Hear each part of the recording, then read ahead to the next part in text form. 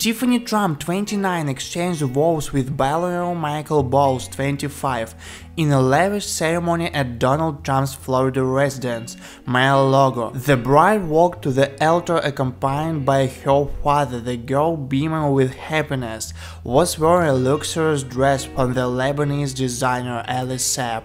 The outfit was not chosen by chance, so the bride paid tribute to the roots of the groom. This is a Lebanese American wedding, so we were happy that Elie Saab did the magic for us, Tiffany's mother, actress Marla Maples, told People magazine.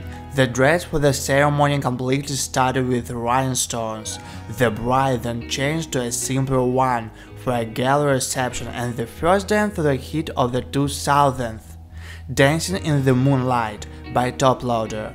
By the way, such a love for everything shiny is not surprising, because the youngest daughter of a billionaire was named after the jewelry house Tiffany and Co. The couple said yes in front of family and friends in a gazebo lavishly decorated with white, pink and blue flowers. The colors shimmer pair particularly well with the soft blue of the bridesmaids' dresses, which included her half sister Ivanka Trump. The 2-meter-high wedding cake was inspired by the cake at the wedding of the bride's parents. According to Marlo, little Tiffany dreamed of recreating it since childhood. Maples and Donald Trump were married from 1993 to 1999 and the former spouses apparently Steve had an excellent relationship, but at the wedding rehearsal and the ceremony itself, the actress posed nicely with Trump and his current wife Melania. The luxurious wedding was like a fairy tale,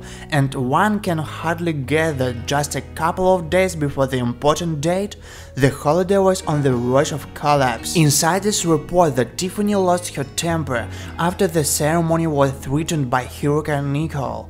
They said to send servants home, a source told tabloid page 6 on Wednesday. Some guests came for the whole week and they had planned every day. It was supposed to be something incredible. They have already cancelled events and golf for tomorrow. Everyone is stuck inside.